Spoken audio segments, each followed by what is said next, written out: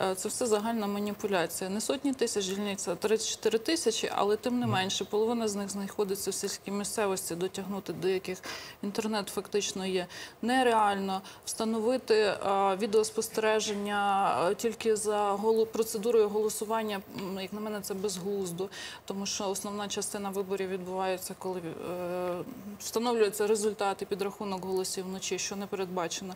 До закону немає технічного обґрунтування, куди саме ці гроші будуть виділені. Ми не знаємо, чи за 20 тисяч, 30 тисяч буде відеокамера куплена, чи е, буде онлайн-трансляція, скільки буде серверів.